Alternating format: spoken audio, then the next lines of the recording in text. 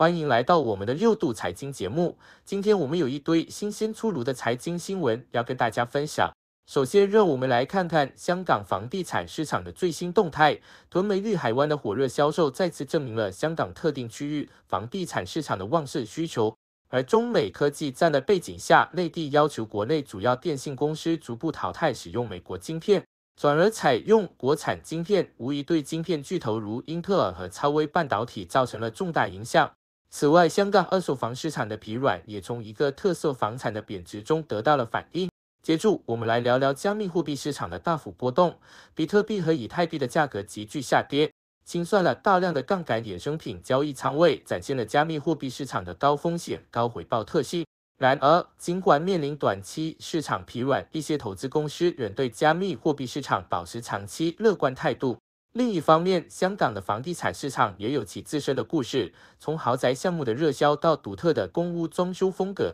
再到广东省推动汽车更新消费的政策，都在展示着市场的多样性和活力。最后，我们还会带大家一探特斯拉全自动驾驶订阅价格的大幅下调，广州白云机场在广交会期间的出入境人次激增。以及香港仔黄竹坑站港岛南岸第三 B 期 Blue Coast 豪宅的热销等新闻背后的故事。这些报道不仅涵盖了科技进步、国际交流活动的重要性，还有房地产市场的最新趋势，展现了当下社会的多元化和活力。好了，新闻概述就到这里，精彩的内容还有很多，请大家继续收看详细内容。在香港的房地产市场，新鸿基地产零零零幺六旗下的屯门绿海湾成为了热点。据东方日报报道，该项目在一个周六累计销售了六套房产，总成交金额超过了五千万港元。这其中的房产类型多样，从开放式户型到三房户型都有，使用面积介于二五五至五幺四平方尺之间，成交价格每平方尺则在十九四七三至二十一三二十九二三港元之间。买家还能享受高达近百分之二十七的回赠优惠，这样的销售成绩不仅展现了玉海湾的独特魅力，也反映了香港房地产市场在特定区域的旺盛需求。与此同时，中美科技战的背景下，中国内地的政策变动引起了广泛关注。根据东方日报的报道，内地已经要求国内的主要电信公司在未来几年里逐步淘汰使用美国晶片。转而采用国产晶片，江浙预计将对晶片巨头如英特尔 Intel 及超微半导体 AMD 产生重大影响，导致他们的股价分别下跌了百分之五点一六和百分之四点二三。这一转变不仅标志着中国在减少对外国技术依赖方面的决心，也可能意味着国产晶片在质量和性能上已经取得了显著进步。此外，中国还发布了采购指导意见。鼓励政府机构和国有企业优先选择国产中央处理器，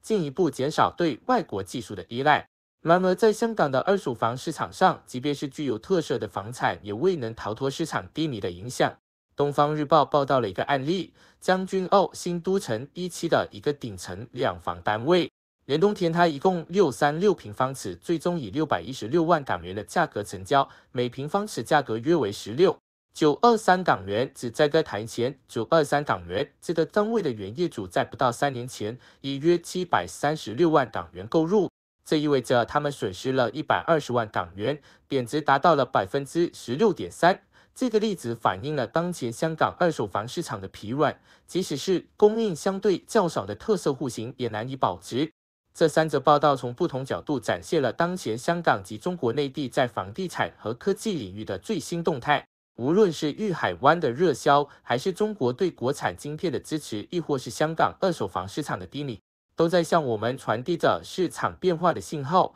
在这样的大背景下，无论是投资者还是普通消费者，都需要更加谨慎地分析市场趋势，做出明智的决策。在数字货币的世界里，波动是唯一不变的真理。这一次，比特币再次证明了这一点。当它急剧下跌至六十六零美元以下，让整个市场感受到了寒冬的严酷。据东方日报报道，这场下挫并不孤单，以太币也随之重挫百分之十二。尽管稍后有所回升，但跌幅仍然达到了百分之八点一六。这一幕不禁让人想起了中东地缘政治风险的急升、市场避险情绪的升温，以及加密货币因此受到了拖累。在这场加密货币价格的回调中，Coin 股 a 数据显示出现了一个月来最大规模的杠杆震荡。清算了约八点五亿美元的杠杆衍生品交易仓位。这对于那些压住价格上升的长仓来说，无疑是一个巨大的打击和巨大的打击。而在交易员纷纷寻找对冲的同时，美国国债和美汇指数的飙升，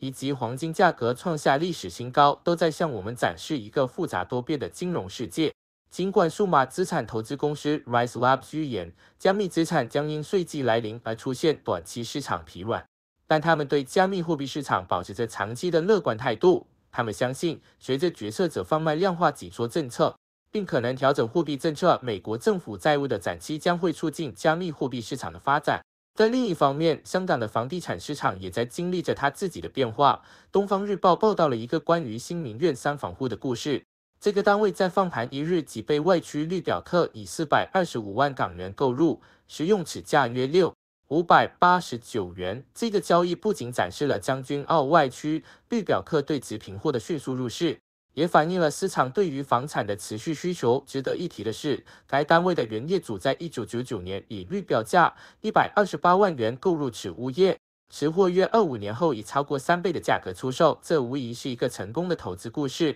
同时，广东省的汽车市场也在迎来一波新的变化。根据《东方日报》的报道，广东省人民政府印发了《广东省推动大规模设备更新和消费品以旧换新的实施方案》，旨在通过强化政策引导，促进汽车更新消费。这包括优化金融支持，如鼓励银行机构适当降低乘用车贷款首付比例，合理确定汽车贷款期限和新贷额度。这一政策的推出不仅有利于促进老旧货车的更新，也为汽车消费市场注入了新的活力。无论是加密货币市场的波动、房地产市场的热络，还是汽车市场的刷新，都在向我们展示一个不断变化的世界。在这个世界中，机遇与挑战并存，唯有适应和前瞻，才能在变化中找到属于自己的机会。在这个充满变化和机遇的时代，从特斯拉的全自动驾驶订阅价格大幅下调。到广州白云机场在广交会期间的出入境人次激增，再到香港仔红竹坑站港岛南岸第三 B 期 Blue Coast 豪宅的热销，我们可以看到科技国际交流和房地产市场的最新动态。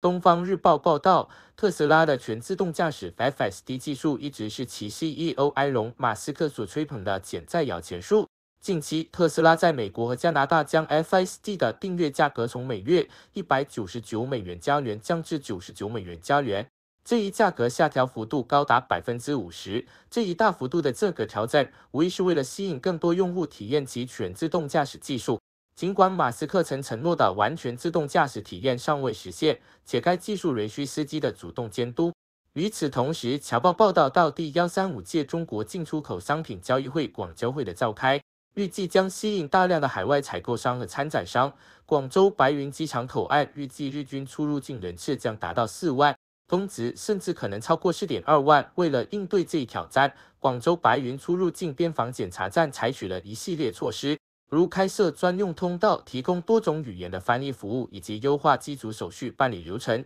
以确保参展商和采购商的通关便利。在房地产市场方面，《东方日报》同样带来了引人注目的消息：香港仔皇族坑站港岛南岸第三 B 期 Blue Coast 豪宅项目，在第二轮开售时受到了大量买家的追捧，预计首日就能售出约八成的单位，其中有大手客计划斥资一二亿港元选购六伙大单位作为长线投资。这一现象反映出，尽管市场面临不确定性，但高端房地产市场的吸引力依然强劲。通过这些报道，我们不仅可以窥见科技进步如何影响消费者行为，还可以看到国际交流活动对于旅游和服务行业的重要性，以及房地产市场的最新趋势。无论是特斯拉的创新尝试、广交会的国际影响力，还是香港高端房产市场的活跃，都展现了当下社会的多元化和活力。在香港的房地产市场，长实集团的 Blue Co 项目引起了广泛关注。据《东方日报》报道，这个位于香港仔皇竹坑站港岛南岸第三、第七的项目，在周六的次轮销售中，以价单形式发售了幺八四伙住宅单位。中原地产亚太区副主席兼住宅部总裁陈永杰透露，出席客户中有半数是首轮未能成功购买的客户，主要钟情于两房单位。投资者在所有客户中占比约三成，其余则多为来自港岛及南区的自用客户。这次销售中，一个家族计划斥资约七千二百万港元购入两伙式房户，显示出豪宅市场的热度未减。据东方日报进一步报道，这次销售的首个小时内就有五十个单位被认购，显示出项目的高度受欢迎。长实执行董事赵国雄表示，未来单位价格还会上调，显示出对市场的强烈信心。与此同时，香港的银主盘市场也同样活跃。星岛日报报道了一个位于上水天平村的公屋单位，因其独特的叙利亚风装修而引起了广泛讨论。这个单位以一百三十万元的开价拍卖，其破烂风格的装修，包括墙身斑驳掉漆。砖墙外露以及客厅内多个空心水泥砖摆设，成为了网民热议的焦点。银主盘通常是因为业主财政问题而导致的拍卖物业。环亚物业拍卖行董事总经理屈运聪提醒，虽然银主盘价格吸引，但购买前需要对物业情况有深入了解。他强调，银主盘交易通常不能踢弃，意味着买家需要对物业的法律状态有清晰的认识。香港的房地产市场，无论是豪宅还是公屋，都显示出了其独特的活力和多样性。从长实集团的 Blue Co 项目到上水天平村的银主盘，买家的选择多样，市场的热度持续。无论是寻求投资机会的买家，还是寻找独特住宅的个人，香港的房地产市场似乎总有供不应求的局面。在这个充满变化和创新的时代，各种新闻和报道不断涌现，让我们对当前的社会、经济和技术趋势有了更深入的了解。从香港的独特公屋装修风格，到浙江省优化支付服务的举措，再到贝莱德 CEO 关于联储局减息和 I 对提升员工薪酬的看法，这些报道展示了一个多元化和快速发展的世界。星岛日报带来了一个引起热议的新闻：上水天平村的一间公屋以其独特的叙利亚风装修风格成为话题焦点。这间公屋的装修风格以破烂为美，墙身斑驳掉漆，砖墙外露，甚至客厅里摆放着多个空心水泥砖。这种原始而老旧的装修风格引起了网民的热烈讨论。有人称赞其独特性，而有人则担心其风水问题。这间公屋的开价为一百三十万元。对于一些寻求独特风格的买家来说，可能是一个不错的选择。在支付服务方面，《东方日报》报道了人民银行在杭州召开的浙江省优化支付服务推进会。这次会议强调了优化支付服务的重要性，尤其是对于浙江这样一个对外经济发展水平高的地区。会议提出了一系列措施，旨在提升支付服务的便利性和兼容性，为老年人、外籍人士等群体提供更优质的支付服务。这显示了中国在金融科技领域的进步和对提升民众生活质量的承诺。在经济和科技领域，《东方日报》也报道了贝莱德 CEO 芬克 Larry Fink 对于未来经济趋势的看法。芬克预计，美国联储局今年最多减息两次，并指出通胀将成为一个长期问题。他还强调了人工智能 I 在提升生产力和员工薪酬方面的潜力。贝莱德对 AI 的投资不仅帮助公司管理了创纪录的十。五万亿美元资产也展示了技术如何在现代企业中扮演着越来越重要的角色。这些报道展示了我们所生活的世界是多么的多元和复杂，从住房装修到支付服务，再到经济政策和技术投资，每一个领域都在经历着快速的变化和发展。在这个不断进步的时代，了解这些趋势和动态，对我们每个人都至关重要。